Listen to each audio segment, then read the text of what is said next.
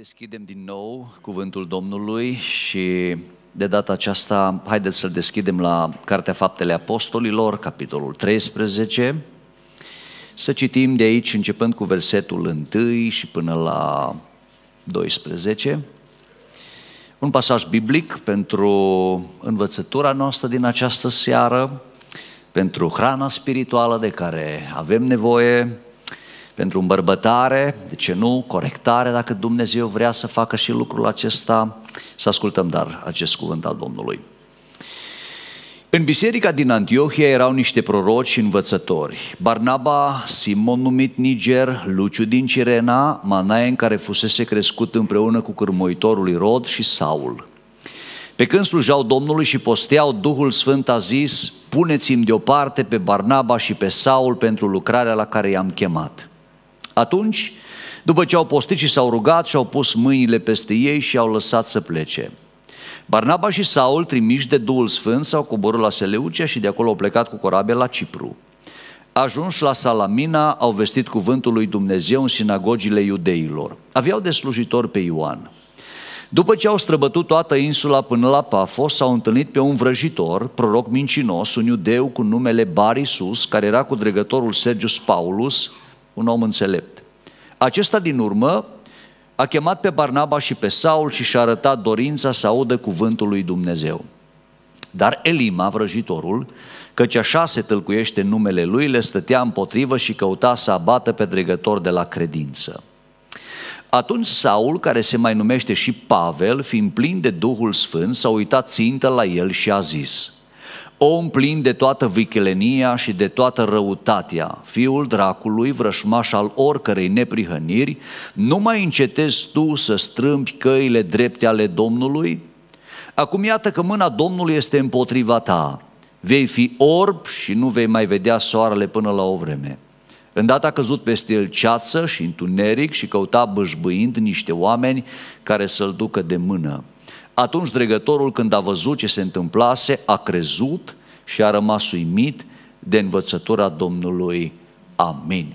Vă invit să reocupați locurile. Dragii mei, mă bucur în această seară să fiu uh, la Oradea, la Biserica Învierea.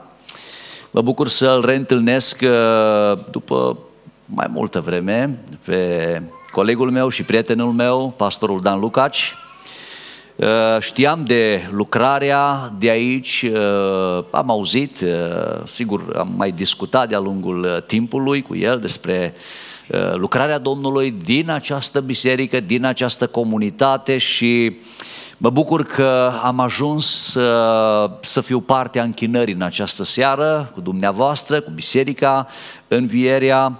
Sigur, m-am simțit încurajat să văd că mai sunt și alți timișoreni aici în această seară și să pot uh, împreună cu ei și cu dumneavoastră, cu noi toți, noi toți să ducem închinare Domnului, așa cum am făcut-o până aici și zic Domnul să ne binecuvânteze în continuare. Este o seară de închinare, o seară de părtășie, cum îi spunem noi, o seară în care ne apropiem de Domnul, încercăm să ne reglăm viața după voia Domnului, să fim uh, încurajați în toate lucrurile bune pe care Dumnezeu vrea să le facem mai departe în viața noastră și îmi doresc mult de tot ca Domnul să continue să se ocupe de sufletele noastre, El să ne învețe, așa cum uh, deja Uh, ne-am exprimat această dorință și această disponibilitate înaintea Domnului, El să uh, regleze lucrurile în viața noastră după voia Lui și uneori reglarea aceasta, sigur, presupune și anumite corecturi pe care Domnul să le facă după voia Lui în această seară în viețile noastre. Dragii mei, am citit acest cuvânt al Scripturii care ne vorbește despre o biserică care a avut uh, o importanță foarte mare în primul secol creștin, biserica din uh, Antiohia, Antiohia Siriei. A fost o biserică prin care Dumnezeu a făcut o lucrare misionară extraordinară în uh, Imperiul Roman, a fost un centru misionar uh, important al uh, acelor vremuri, acelor momente uh, și de acolo, din biserica aceea, uh, s-a răspândit Evanghelia în multe părți ale Imperiului Roman. Mă fascinează istoria acestei biserici, atât cât putem noi să o vedem în, uh, în Scriptură, în Noul Testament, în special în Cartea Faptele Apostolilor. Și m-am gândit întotdeauna că biserica din Antiohia este ca un model pentru bisericile de astăzi, așa cum a fost un model pentru bisericile din toate vremurile. De atunci până astăzi și până Domnul va reveni și că în această biserică sunt uh, câteva trăsături, ele sunt mai multe, dar câteva dintre ele care mie mi-au atras atenția. Socotesc că aceste trăsături ale bisericii aceleia sunt relevante și pentru vremea de astăzi. Dacă îmi permiteți, s-ar putea ca vremea pe care noi o trăim astăzi să ridice foarte multe provocări la adresa bisericii și la adresa creștinilor. Una dintre provocările pe care, cu care avem de-a face în această perioadă este bunăstarea, confortul. E o mare provocare. Și multe alte provocări de felul acesta sau altele diferite cu care biserica secolului 21 se confruntă. Dragii mei, în ciuda provocărilor și a uh, adversității de care avem parte, oricum Biserica Domnului a avut parte de adversitate tot timpul. Niciodată biserica n-a fost liniștită, lăsată în pace de uh, lumea întunericului, de vrășmașul, de diavolul. Dar astăzi adversitățile de care avem parte sunt uh, parcă din ce în ce mai ciudate, mai neobișnuite, mai provocatoare. Și cred că în contextul acestor uh, provocări pe care le avem ca biserică, da, vorbesc acum din perspectiva comunității de credință, dar și uh, uh, în mod personal, toate acestea cumva reclamă o întoarcere la ceea ce Biblia vorbește că ar trebui să fie creștinul și Biserica lui Hristos. Și cred că din când în când, periodic, ar trebui să ne întoarcem la ceea ce Biblia spune că trebuie să fie și să rămână Biserica lui Hristos. De fapt, originalul, când vorbim despre biserică, este în Scriptură.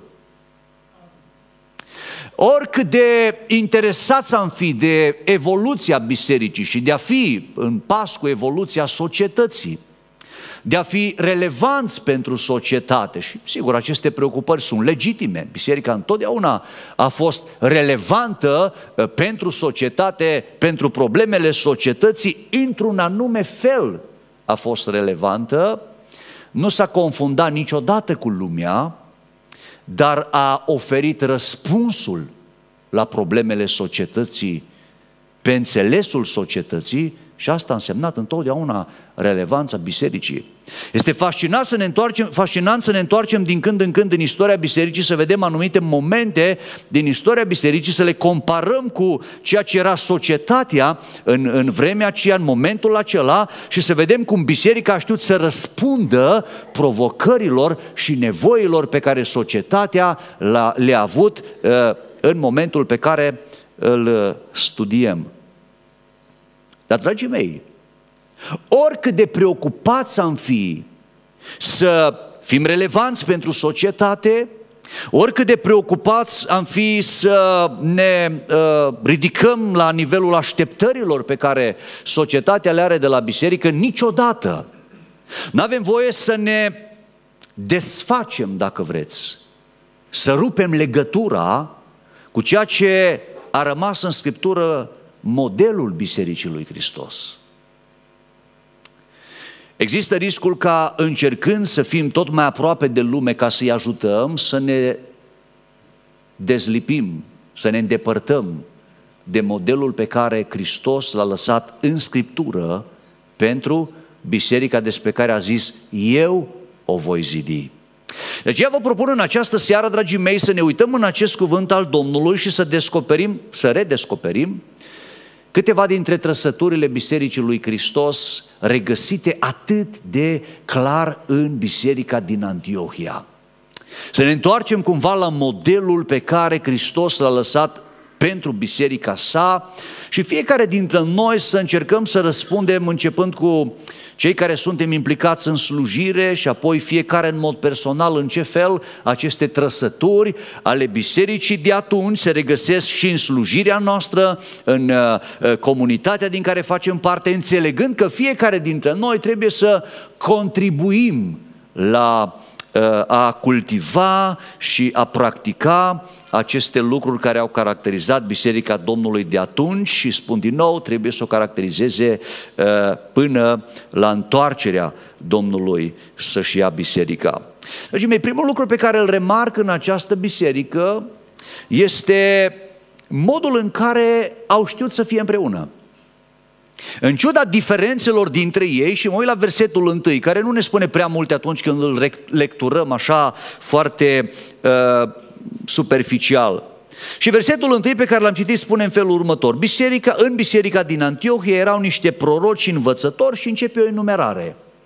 Uităm la numele alea ciudate, nu e niciunul românesc pe acolo, între ele.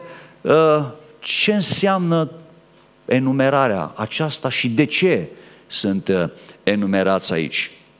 Barnaba, ăsta era un evreu, da? din seminția lui Levi, Apoi uh, Simon, Poreclit Niger, care în traducere înseamnă negru, comentatorii teologii consideră, cred că ar fi fost un negru, acolo în biserica din Antiohia, Luciu din Cirena, și asta tot prin o zonă a Africii, era Manaen, un om de lume bună, obraz fin așa, pentru că fusese crescut cu cârmăitorul Irod, era un fel de uh, nobil al zilelor lui, și Saul, cel care trebuia să devină rabin, un teolog desăvârșit.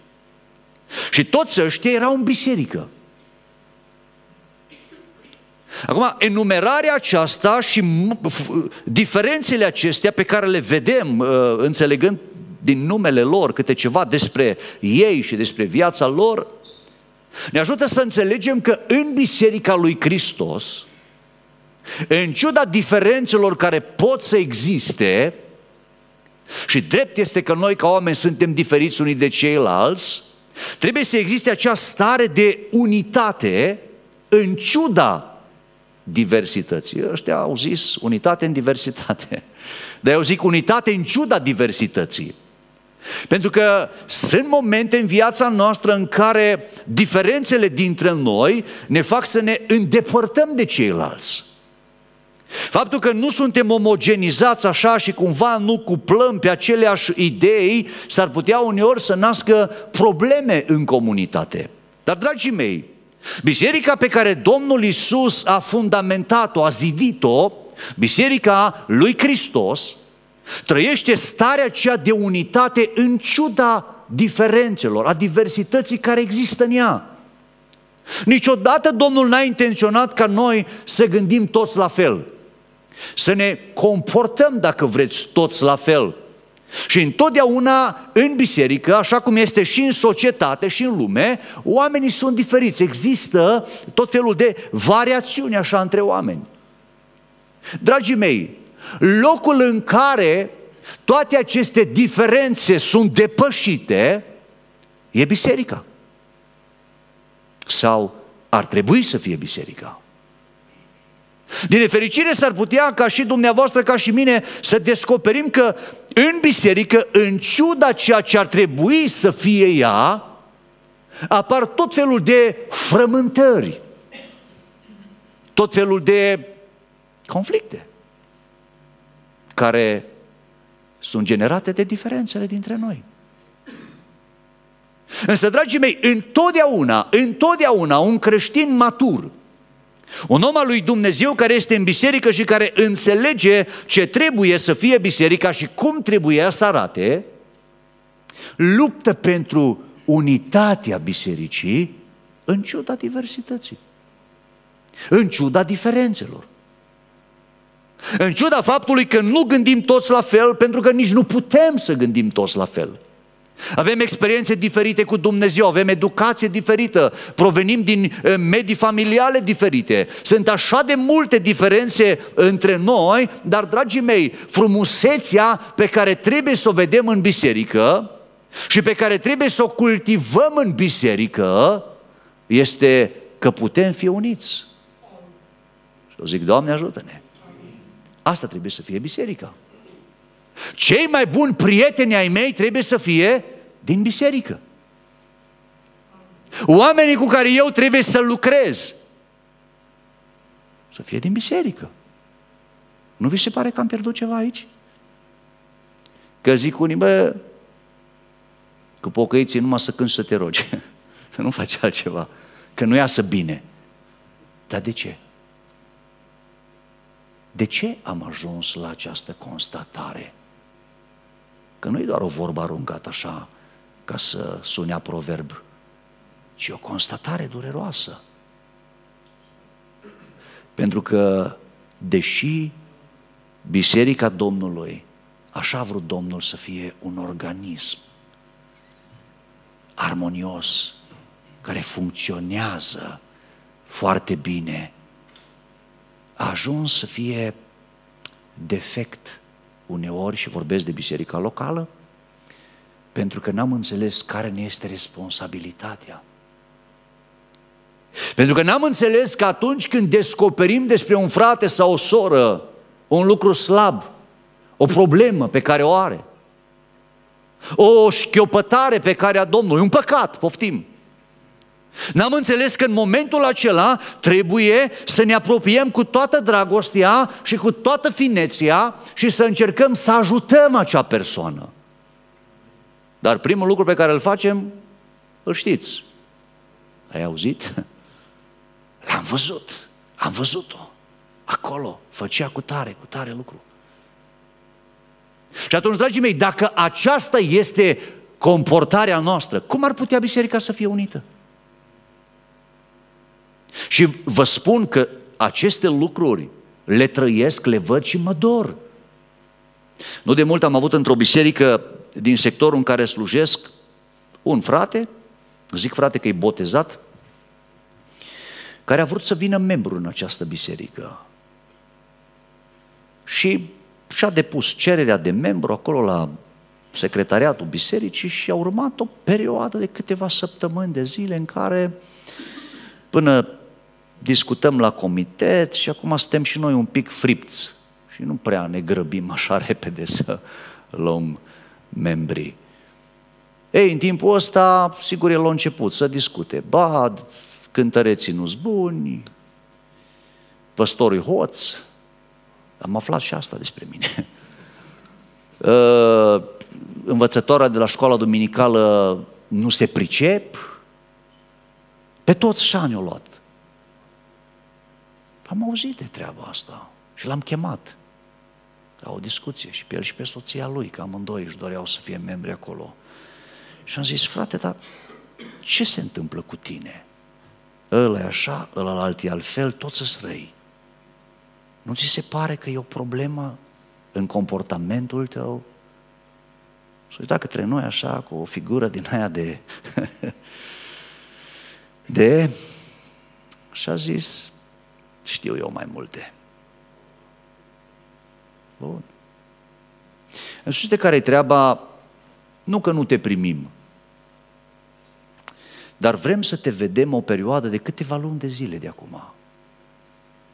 Pentru că oamenii pe care vrem să-i primim în biserică, vrem să aducă un plus, nu un minus.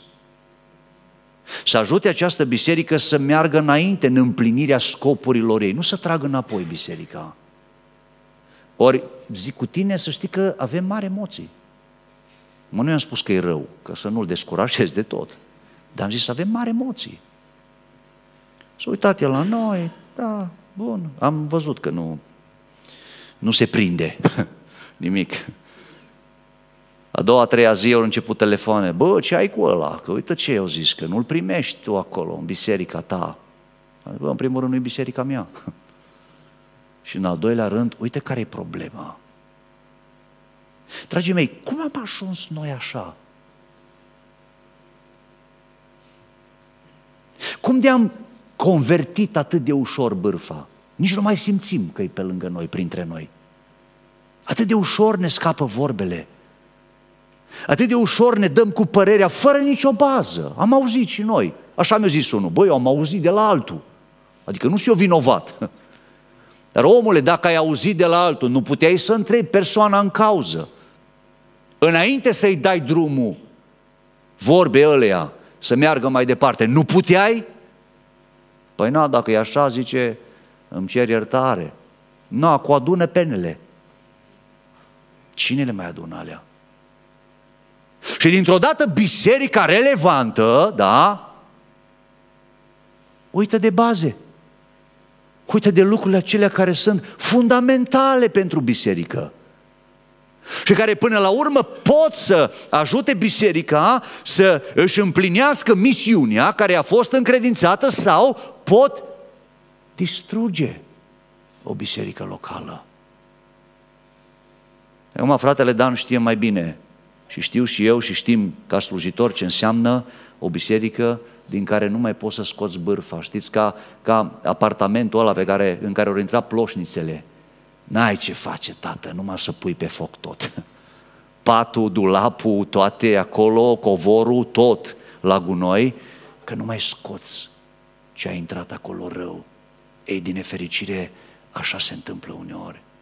Așa că, dragii mei, mă întorc și e fascinantă biserica asta.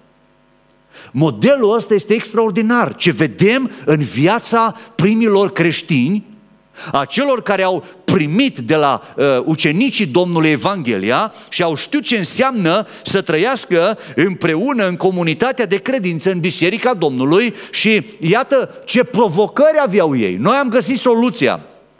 Știți ce soluție? Că și pe la noi, pe la Timișoara, domnule, Biserica Studenților. Nu avem discuții. E numai cu studenții ăștia, știu, cu matematică, cu fizică, cu de toate, știu să pună problema într-un mod științific, așa. Noi, ca să nu avem probleme. Alții au zis, nu, frate, nouă ne trebuie biserică numai de tineri. Dar de ce? A greșit Domnul când a zis, Petre, mă iubești tu? Și Petru a încercat să se dea mare, nu i-a ieșit, că știa și el și Domnul cam cât îl iubește pe Domnul, nu? Și a zis, Paște mielușei mei. Și apoi l-a întrebat a doua oară și a zis, Domnul, paște și oițele. Și a zis, mai paște și oile. De ce? Pentru că Biserica Domnului este formată din multe generații și din multe categorii de oameni. Și sunt împreună în mod ciudat, în mod ciudat, omenește, e ciudat, sunt împreună și fac casă bună și se înțeleg și sunt uniți și nu se disprețuiesc unii pe alții pe criterii de vârstă, de mentalitate, de alte lucruri de felul ăsta, pentru că împreună vrem să moștenim împărăția. Să ne ajute Domnul asta. Dragii mei, biserica secolului 21 trebuie să se întoarcă la asta. Aici e modelul. Oricât de tentați am fi noi să ne uităm la alte modele și sunt o grămadă de modele. Începând din România și până în America și până în Australia, modele de tot felul. Bisericile, biserica rockerilor, biserica motocicliștilor, biserica nu știu cărei categorii, sunt o grămadă de modele și de abordări și de împărțiri pe care unii le fac în tot felul de locuri, dar dragii mei, modelul rămâne în cuvântul lui Dumnezeu. Biserica Domnului a fost unită în ciuda diversității care era în ea. Apoi, un alt lucru, foarte interesant și foarte important. Versetul 2 spune așa, pe când slujeau Domnului și posteau. Și pentru mine când îi văd aici și versetul 3 din nou spune, atunci după ce au postit și s-au rugat și au pus mâinile peste ei și au lăsat să plece. Dragii mei, ce văd în biserica aceasta este spiritualitate, nu doar religiozitate. Pentru că uneori în mintea noastră apare confuzia între spiritualitate și religiozitate. Și socotim că dacă suntem religioși, adică avem o religie pe care o practicăm, facem acele lucruri care se fac în religia uh, de care aparținem sau pe care o practicăm, suntem și spirituali. Dar nu e așa. Că poți să fii religios și să nu fii spiritual. Și unii spun că poți să fii spiritual fără să fii religios. E o discuție aici. Ce este spiritualitatea fără religiozitate? Ceva nedefinit. Sau mai bine zis ceva ce poate fi definit oricum. Spiritualitate. Ea trebuie să aibă până la urmă niște elemente. Dar marea problemă pentru noi este că uneori ne lăsăm furați de faptul că suntem în biserică, facem activitățile care se întâmplă în biserică, însă viața spirituală ne este poate tot mai săracă. De ce oare? Ne aduc aminte de un tânăr care a venit la biserică, noi am fost uh, prieteni și eram și de aceeași vârstă și după câțiva ani el a plecat în lume cu ceilalți, eram în perioada uh, liceului. Discoteci, uh, cazinouri, tot felul de nebunii. A stat plecat așa din biserică 5, 6, 7, 8 ani, nu mai rețin cu exactitate. Și după această perioadă, după acești ani, a venit din nou la biserică. M-am bucurat, am zis, Robi, ce mă bucur că te văd, omule, după atâția ani. Zice, da, vin, mă întorc. M-am bucurat de asta. A început să vină la biserică o duminică, a doua, a treia, vreo două, trei luni de zile a venit. Și după cele două, trei luni de zile a dispărut din nou. Și m-am întâlnit cu el, iarăși. Am zis, Robi, dar nu te-am mai văzut. De ce n-ai mai venit? Vă zice, am încercat. Da. Am înțeles stând de vorbă cu el atunci că toate aceste lucruri pe care noi le facem în biserică, dacă sunt doar ritualuri, nu ajută la nimic. Că de fapt toate aceste lucruri pe care noi le facem când suntem împreună, ele trebuie să fie expresia unei realități spirituale din viața noastră. Altfel, imaginați-vă, să te rogi mecanic, să cânți mecanic, să faci toate lucrurile astea doar pentru că sunt niște activități care se întâmplă în biserică. Am fost plecat uh, uh, la un moment dat în Suedia la o biserică de suedezi. A fost un șoc pentru mine. Ai mei veneau la biserică așa ca la plimbare, ca în parc. Frumos la braț, cobora bătrânelul din Lamborghini cu soția lui lângă el. Braț frumos, pedanți, aranjați a mei. Veneau la biserică. Din când în când se mai plictiseau că dorea spatele pe moșulică, ieșea afară, o cafeluță, rezolva lucrurile, se întorcea înapoi. Asta era biserica. Și eu mă uitam la ei. Dragii mei, când începem să ne pierdem spiritualitatea, acea profunzime a relației cu Dumnezeu, suntem pierduți, suntem gata. Pentru că viața spirituală, acea relație pe care o avem cu Dumnezeu, care e viața noastră, Aia e ceea care contează pentru fiecare dintre noi. Putem fi nelipsiți de la întâlnirea bisericii. Putem fi duminică de duminică și dimineața și după masa. Dacă nu există spiritualitatea aceea, relația cu Dumnezeu, realitatea relației cu Dumnezeu în viața noastră, pe care să putem pune degetul și să putem să spunem celui care ne întreabă, hei, am stat de vorbă cu Dumnezeu azi dimineață și Dumnezeu mi-a zis azi dimineață lucrul ăsta și ăsta și celălalt. Atunci, ce avem? Doar o religiozitate goală. Ne lipsesc aceste lucruri. Și ne mirăm de toate problemele pe care le avem în viață, dar, dragii mei, nu există altă modalitate de a aprofunda relația cu Dumnezeu de când, decât stând în rugăciune și stând de vorbă cu Dumnezeu în timp ce ne rugăm.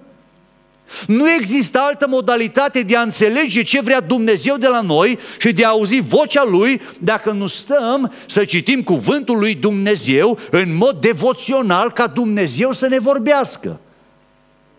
Nu există altă modalitate de a ne ține în frâu toate impulsurile firii pământești dacă nu postim.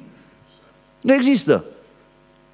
Sunt lucruri pe care le vedem în viața Mântuitorului, le vedem în viața ucenicilor, le vedem în viața bisericii primare, le vedem în viața acestei biserici care a cultivat în ea o spiritualitate ieșită din comun, dacă vreți. În timp ce creștinul modern cultivă altceva. Și aici poate că fiecare dintre noi ar trebui să ne uităm în viața noastră. N-am făcut-o niciodată în bisericile mele, dar într-o zi am să o fac. Să ridice mâna toți cei care s-au rugat în fiecare dimineață săptămâna aia. Cu sinceritate, sus mâna, pac, îi forțez pe-a mei pot. Nimeni nu se ascunde sub scaune, sus mâna. De ce? Nu ca să arăt cât de slab sunt, ci ca să ne conștientizăm starea. Câți am citit din Scriptură, în mod devoțional, nu numai să bifăm așa că am citit la rând, săptămâna aceea, cât am postit măcar o zi. Hai cu postul, murim. Dacă nu bem apă, dacă nu ne uscăm pe picioare, nu vedeți? La școală, la, la oră, Copiii toți să cu sticla de apă pe masă. Că nu le convine ce le spun, eu religie le predau, că altceva nu știu. Sticla deschid, beau, a mei relaxați. Mă încord câteodată la ei. Ce vă, mă, muriți? Ia, nu muriți, să lăsați apa până la sfârșitul orei. Dar noi am ajuns, știți, să considerăm treaba asta. Așa am fost și eu când am fost tânăr și am început și eu umblarea pe calea Domnului, am fost atât de slab, nici acum nu stare gras, dar atunci eram atât de slab, mi se vedeau oasele astea așa pe aici. M-am gândit dacă postez și mor. Da. Am început să postez și n-am murit. Nu murim, dragii mei. Dar cum de am pierdut această disciplină? E așa de greu să trăiești o viață de credință fără spiritualitate fără să poți să spui.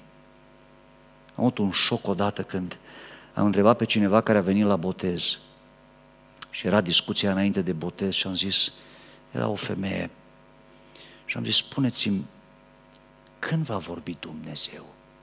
Va vorbi vreodată?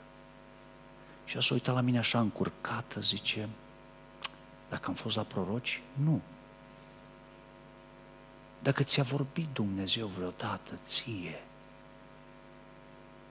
și s-a uitat către mine așa, încurcată, și a zis, nu. Nu, s-a botezat. Dar cum poți, ca și creștin, să spui mai trist ce este că noi știm ce trebuie să răspundem? Ți-a vorbit? Da. Când? Ieri, de acum, păi mergeam pe stradă și am văzut un verset pus nu știu unde, pe o fațadă la o biserică, ceva. Atunci, dragii mei, eu nu spun că Dumnezeu nu ne vorbește în multe feluri, dar e, eu mă refer la acea uh, situație, acel context în care stau de vorbă cu Dumnezeu. Și Dumnezeu îmi spune ce trebuie să fac, ce trebuie să schimb în viața mea. Și eu îi spun lui ce mă doare, lucruri de care am nevoie, unde sunt deficitar, în ce domenii ale vieții mele am nevoie de ajutorul lui. Și în felul ăsta, dragii mei, acea relație pe care trebuie să o avem noi cu Dumnezeu, ca și creștini, cum vom rezista altfel? Cum vom rămâne în picioare în ciuda, împotriva adversităților de care avem parte? Dacă nu există această spiritualitate, religiozitatea nu ne ajută. Asta nu ține mult.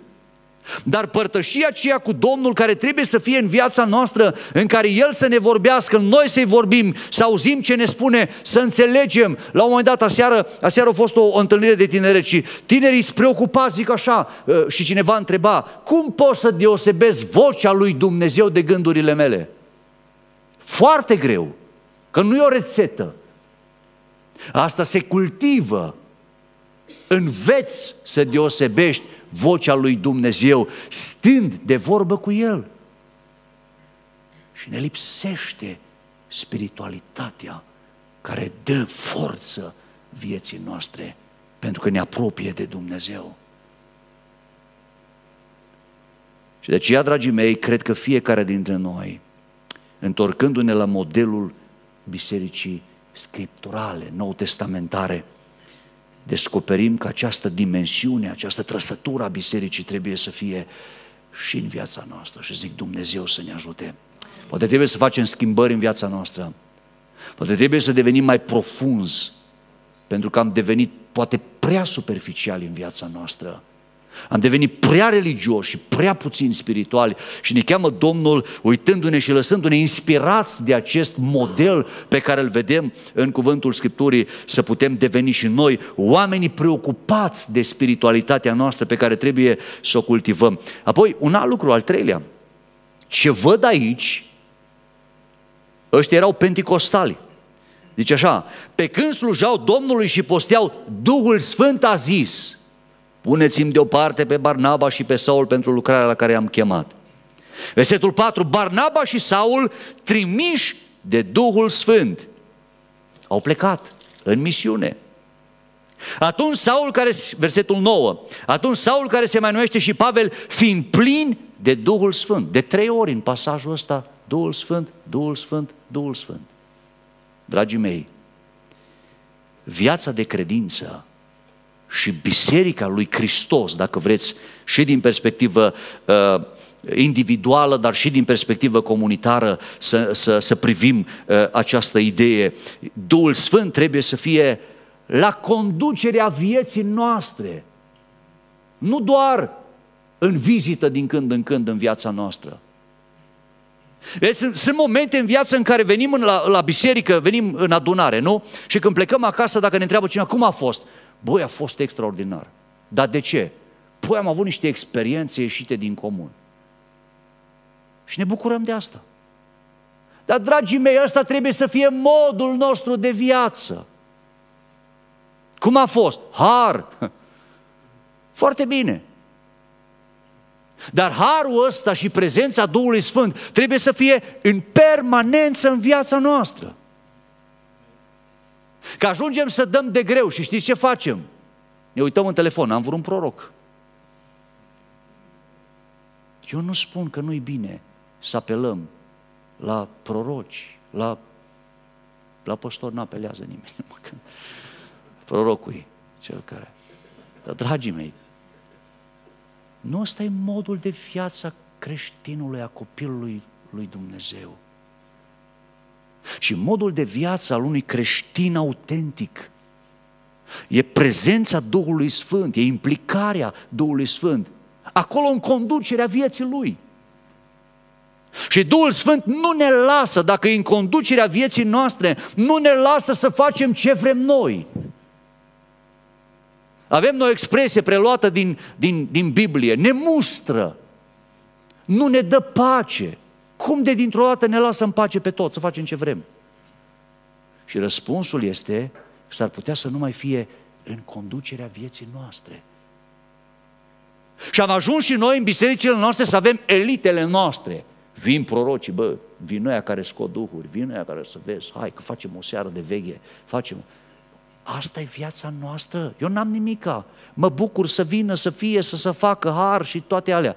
Dar, dragii mei, viața noastră de credință, modul nostru de viață, trebuie să fie o continuă prezență a Duhului Sfânt în viața noastră și nu tu să ai nevoie de ea care vin și să fii omul care se duce la cei ce au nevoie. Asta trebuie să fim noi. Dincolo de asta, vedeți, sunt tot felul de uh, uh, preferințe pe care le avem, ba pentru una, ba pentru alta, dar viața noastră, ca și copiii lui Dumnezeu, trebuie să fie condusă de Duhul Sfânt. Și să te duci la locul de muncă și acolo Duhul Sfânt să-ți dea un cuvânt pentru cel care poate îi nemântuit. Sau căzut în depresie, sau te miri ce problemă are. Și Duhul Sfânt să poată să vorbească prin tine acolo, că e Duhul Sfânt la lucru. Asta, dragii mei. Întreba cineva, frate, nu mai facem și noi stăruință? Nu. Dar de ce? Pentru că facem stăruință de fiecare dată când suntem la rugăciune. Cum ar fi în timp ce cântăm și ne rugăm Duhul Sfânt să înceapă să boteze și numai să auzi că vorbește în alte limbi cineva care n-a avut experiența asta niciodată, în timpul adunării. De ce ne trebuie incubatorul ăla în care băgăm să vedem ce iasă de acolo? Nu, dragii mei, ci prezența Duhului Sfânt trebuie să fie un mod de viață. Să ne ajute Domnul asta. Asta e biserica Domnului. Iată-i acolo având experiențe de felul acesta. M-a impresionat foarte mult un bărbat dintr-o biserică, un om simplu. Nu tu predicator, nu tu elită. Merge la muncă, era Bila pe atunci în Timișoara, s-a desfințat între timpul saltele. Și el lucra pe raion, punea marfa acolo. Și s-a dus la serviciu și într-o dimineață și era și șefa lui de raion cu el și se uită către ea și zice, eu spus pe nume, să știți că Dumnezeu vă iubește, eu zis. Și asta dintr-o dată a început să plângă. O lăsat marfa, o fugit sus în birou, la directorul de magazin care și ăla era pocăit și o zis, Dorele, tu i-ai spus ceva la Gabi despre situația mea? Și Dorel, directorul, i-a spus, n-am vorbit cu nimeni despre situația ta ea îi spusese lui, directorului, că era în divorț cu soțul. Era într-o depresie profundă din cauza asta. Și vine Gabia nostru, ăla din adunare. Și merge la muncă și pentru că era Duhul Sfânt la conducerea vieții lui, se duce și spune exact ce trebuia să audă femeia aia. Dragii mei, Asta e viața pe care trebuie să o trăim noi. Asta vedem în viața înaintașilor noștri.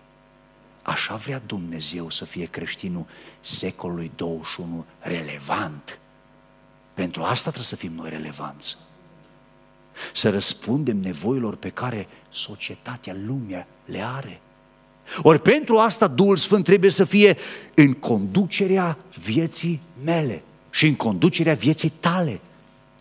Și să nu mai trebuiască să vină păstorul să spună, măi, omule, vezi că tu nu faci bine, că nu-ți plătește angajații, ia și plătește-ți.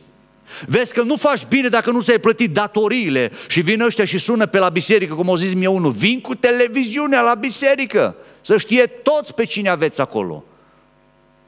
Cum să ajungem acolo dacă nu-i Duhul Sfânt? Faci de toate și nici că-ți pasă în timp ce atunci când Duhul Sfânt este la conducerea vieții, nu mai facem ce vrem, ci facem numai ce zice El. Să ne ajute Domnul asta. Și în felul acesta noi devenim oameni duhovnicești. Că asta înseamnă, ai Duhul Sfânt în tine. Nu doar declarativ, că suntem așa de buni teologi toți, parcă am terminat toți licență în teologie avem argumente, știm să explicăm prezența Domnului, Duhul Sfânt. E acolo că atunci când ne-am născut din nou, da, dar să mai vede ceva? Că vine tot apostolul Pavel și le spune celor din Corint, i-a născut din nou, îi-a botezați. Zice, voi sunteți tot firești, lumești. Zic, citiți să vedeți unul Corinteni, te șochez. Zici că nu le vorbește la pocăiți, Folosește la ea din lume. Da, de unde? Ea erau din biserică. Și când începe să intre în detalii, să spună ce probleme aveau ăștia, născuți din nou, botezați, membri în biserică. Te iei cu mâinile de cap, zici, și ăștia, doi afară pe toți, frate. Desfințezi biserica dacă toți sunt așa. De ce? Pentru că nu e suficient să ai o experiență cândva, ci trebuie să existe o creștere, o dezvoltare a relației cu Duhul Sfânt ca să fim oameni duhovnice. Să ne ajute Domnul la asta. Și ultimul lucru pe care vreau totuși să-l punctez și apoi să încheiem, îmi place foarte mult. Nu știu ce tot am pomenit de relevanță, că nu asta era tema. Dar văd aici că Barnaba și Saul, trimiși de Duhul Sfânt, cum spune versetul 4, se duc pe cetățile alea, Seleucia, Salamina, nu știm ce, nici nu contează prea mult. Dar la un moment dat, zice că au ajuns într-un context interesant. L-au întâlnit pe dregătorul Sergius Paulus, un om înțelept ăsta, și avea lângă el un sfetnic, un tip ciudat, Elima. Elima vrăjitorul, care se dădea, știți că Barisus înseamnă fiul lui Isus. Așa-l chema, dar nu era fiul lui Isus. De Apostolul Pavel îl confruntă și zice, fiul dracului numele ăsta nu te reprezintă, tu nu ești al lui Isus. Dragii mei, ce văd acolo, văd o mare victorie pe care biserica de atunci, prin reprezentanții ei, cei care au plecat în misiune, biserica de atunci câștigă o mare victorie în lupta cu forța întunericului. Dragii mei, tu ca și creștin și eu, ca și copil al lui Dumnezeu, Viața noastră trebuie să fie o viață de victorie, nu de înfrângeri repetate. Domnul ne-a chemat pe noi să ne târâim tot căzuți, ba într-o greșeală, ba în alta și tot așa din șanț în șanț. Și viața pe care Domnul ne-a chemat să o trăim trebuie să fie o viață de victorie. Orice cădere, orice potigneală în viața noastră nu trebuie să fie decât un, un accident pe care să-l rezolvăm repede. Viața de credință, dragii mei, trebuie să fie încununată în cele din urmă după victorile pe care le câștigăm împotriva firii noastre pământești, a naturii noastre păcătoase și în luptele cu puterea întunericului. Chiar acum m-a sunat o tânără, din, de fapt uh, o soră dintr-o biserică de-a noastră și a zis, tata este într-o depresie profundă. L-am internat la spitalul de boli psihice. Ce se întâmplă cu el? Zice, să tot gândește să facă rău la cei din jurul lui. Și după aia plânge și zice că Dumnezeu nu-l mai iubește și un amestec de probleme psihice cu probleme spirituale. Și am zis, unde e membru? Zice, în altă biserică. Mi-au spus și ce fel de biserică, nici nu contează. Și o grupare. Și unde oamenii ăia care trebuie să-l ajute? Zice, nu Dragii mei, dacă tot am vorbit de biserică relevantă, adevărata putere spirituală a bisericii se vede în astfel de momente. Se testează. Altfel, sunt declarații goale. Dacă vorbim despre un Dumnezeu care face minuni și nu mai face minuni astăzi, la ce ne folosește? Dacă vorbim de un Dumnezeu atot puternic care nu mai rezolvă nimic astăzi, atunci cui trebuie un astfel de Dumnezeu? Ori Biserica Domnului trebuie să probeze ceea ce spune, că de declarații plină lumea.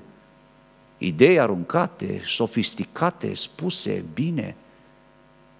Credința se verifică în practică și uneori avem situații foarte grele. Am avut într-una dintre biserici o situație ciudată, n-am, n-am, mai, n-am mai întâlnit așa, n-am mai avut așa. O tânără din biserica aceea foarte cu minte. Drăgălaș așa de felul ei, foarte bună la suflet, o fată deosebită. Nelipsită de la biserică, aia, dacă îi dădeai orice să facă, ea făcea, era prima care ridica mâna pentru toate alea. Se duce într-o, într-un weekend împreună cu alți tineri din biserică la o tabără de rugăciune, ceva au fost. Se duc acolo, stau vineri, sâmbătă, și sâmbătă dimineață primesc un telefon de la unul dintre băieții cu care au fost acolo și îmi zice, frate, e o problemă cu Rahel. Ce problemă e? Face urât, zice. Eu nu am înțeles prima ce înseamnă că face urât. Dar cum? Frate, zice, cade pe jos, face spume la gură. Când? În timpul rugăciunii. haideți acasă. O dus acasă. M-am dus la ea în vizită să văd despre ce e vorba și cât de urât poate să facă. Am intrat în camera ei, când am intrat în camera ei, acolo stătea în pat, să uită așa către noi. Se vede deja din ochi că ceva nu-i bine. Am intrat, m-am dus să-mi pun Biblia pe masă, era în spatele meu, numai odată un mărit în spate. Pum, mă întorc. Prima dată am crezut că a intrat vreun câine. Ea era. Am surprins-o, mărâind așa urât. Mă zic, dar ce cu tine? Nu știu, zice, a început să plângă. Nu știu ce cu mine. Și mă, dar ce ai făcut? Nimic. Dar zic, bine, nu te uh, panica și mai tare, stai în casă, că ieși afară, mai sperii pe cineva, stai aici cu minte și eu mă duc în biserică și spun bisericii că avem o problemă. Mi-a povestit ea. Străbunicul mort în spitalul de boli psihice. Bunicul, depresie, acasă, praf. taică o o trei tentative de suicid. Nici nu m-am mirat că era în starea asta. M-am dus la biserică și am zis, dragilor, o biserică de vreo 100 de membri, avem o problemă. Rahel are o situație foarte complicată. Va trebui să intervenim, să ne rugăm pentru ea. Se uitau ei la mine cum o să uitau ei așa. Trebuie să luptăm pentru ea, că e dintre noi. E a noastră. O să o abandonăm în spitalul de boli psihice acum. Și am văzut eu că se uite așa un pic la mine ciudat și am zis, cui frică, să se ducă acasă. S-au ridicat câțiva. Plecat. Și am zis, nu, bun. Aia care au rămas nu erau mai curajoși, dar le era frică, le era rușine să iasă. Am zis, bun, uite cum facem. Facem numai ce spune Biblia. Nu avem ritualuri, tămâie și din alea. Noi nu avem așa ceva. Dar facem ce spune Biblia. Intrăm în post și rugăciune pentru fata asta. Toți care vor. În fiecare zi de post și rugăciune personală ne întâlnim la biserică seara și mai stăm o oră sau două în rugăciune numai pentru ea. O zi, două, trei de post și rugăciune și în a patra zi am adus-o la biserică. Ne-am rugat pentru ea, i-am făcut ungerea și din momentul acela a început să se schimbe. Zic a început pentru că am mai avut o criză în biserică de alea cu țăpături și cu uh, spume la gură, după care a scăpat de tot. Și acum zice, în sfârșit, pot înțelege Biblia când o citesc, atunci înainte nu puteam înțelege. În sfârșit sunt liberă. Până atunci zice, simțeam că ceva e rău cu mine. Acum n-am nicio problemă. S-a măritat, o născut și gemeni, e bine, Dumnezeu a lucrat și a eliberat-o. Dragii mei, noi putem să spunem multe, dar vine momentul în care ceea ce am spus trebuie să punem în practică. Și Dumnezeul acela mare, căruia i-am cântat, căruia ne-am rugat, pe care l-am slujit, trebuie să-l vedem la lucru. Biserica câștigă biruințe victorii. Viața noastră trebuie să fie plină de victorii de felul acesta. Dragii mei, închei mesajul meu, timpul s-a dus și cred că am și depășit puțin, să mă iertați, vă rog. Dacă vrem să fim relevanți pentru societatea în care trăim, pentru lumea în care trăim, dragii mei, trebuie să ne întoarcem, să ne facem o evaluare fiecare în mod personal și la nivel comunitar. Să vedem dacă nu cumva ne-am desprins de ceea ce Biblia vorbește că trebuie să rămână Biserica lui Hristos. Ne-a chemat Domnul în ciuda diversității, a diferențelor, să trăim în unitate. Și zic, Domnul să ne ajute la asta. Ne-a chemat Domnul să avem o viață spirituală profundă, nu doar religiozitate, ci o viață spirituală, o trăire cu Dumnezeu, în mod personal. Ne-a chemat Domnul ca la în conducerea vieții noastre să fie Duhul Sfânt. El să ne dea de lucru slujirea, El să se ocupe de noi, corectarea, ajustarea după cuvântul lui Dumnezeu, puterea de a trăi în voia lui Dumnezeu, Duhul Sfânt trebuie să fie în conducere, să conducă viața noastră. Și apoi, dragii mei, să trăim o viață de victorie nu cu vicii, nu cu alte probleme, cu nenorociri de tot felul cu care ne zbatem fiecare dintre noi și auzim în biserică că sunt situații în care creștinul cu tare, sora cu tare nu poate ierta pe cealaltă, probleme între mamă și uh, fică, între noră și socră, între cu tare și cu tare. Dragii mei, nu aceasta e viața pe care Domnul ne-a chemat să o trăim, ci o viață de victorie în numele Domnului în care să învingem toate impulsurile acestea păcătoase și să trăim pentru Dumnezeu așa cum Dumnezeu vrea și viața noastră să-L arate întotdeauna și să-L facă pe Dumnezeu practic în viața noastră, să fie vizibil în viața noastră în problemele noastre, în situațiile grele, în crizele pe care noi le avem, Dumnezeu să se vadă, să-L vedem noi și să-L vadă toți ceilalți din jurul nostru. Și zic Dumnezeu să ne ajute la asta. Cred că e timpul să ne rugăm, frate Dan. De a hai tu aici, că cunoști mai bine biserica și să ne rugăm Domnului împreună. Să rămân eu.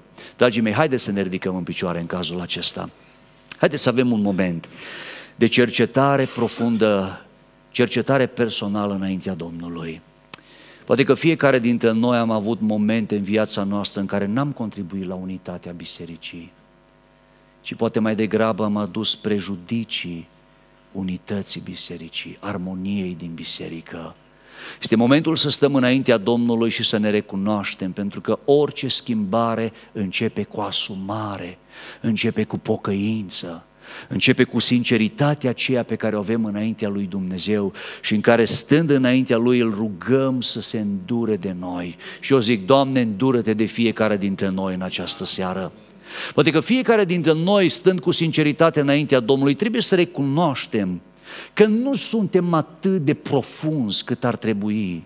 Că poate ne-au lăsat, ne-a, ne-a, ne-a prins confortul lumii acesteia. Suntem preocupați de atâtea lucruri, să muncim, să agonisim, să facem, să dregem pentru noi, în timp ce partea spirituală în care Dumnezeu ne așteaptă să stăm de vorbă cu El, să stăm în părtășie cu El, să ne dea acea putere de care avem nevoie, să schimbe în viața noastră lucrurile, a rămas undeva ă, pe un loc codaș între activitățile vieții noastre.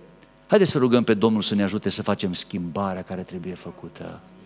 Haideți să-i cerem Domnului consecvență, să ne ajute să fim oamenii aceia care își fac timp pentru părtășia, pentru a sta de vorbă cu El, pentru ceea ce ne dă vitalitate fiecăruia dintre noi. Haideți să fie de asemenea o rugăciune a rededicării în care să spunem Duhului Sfânt, Duhule Sfinte, vino Tu să conduci viața mea nu mai vreau să conduc eu, nu mai vreau după ideile mele, nu mai vreau după argumentele mele umenești, ci vreau ca tu să începi să lucrezi și să conduci viața mea așa cum vrei tu. Și Duhul Sfânt care este bun și care vrea să facă lucrul acesta, va fi gata să facă schimbarea pe care noi o așteptăm de la El. Și dacă ai o viață în care sunt așa de multe eșecuri, Cere biruință în numele Domnului peste viața ta. Ca Dumnezeul care este atotputernic, căruia te închin, cu care ai făcut legământ, să vină în viața ta și toate acele înfrângeri pe care le ai în domeniile în care te confrunți cu înfrângeri, să se transforme în victorii în numele Domnului. Și să poți să spui că Dumnezeu este Cel ce ți-a dat biruință până și în cele mai grele uh, confruntări și lupte pe care le-ai avut. Haideți să intrăm în această rugăciune și Domnul care e bun să ne asculte și să lucreze, să facă acest cuvânt roditor în viețile noastre. Amin.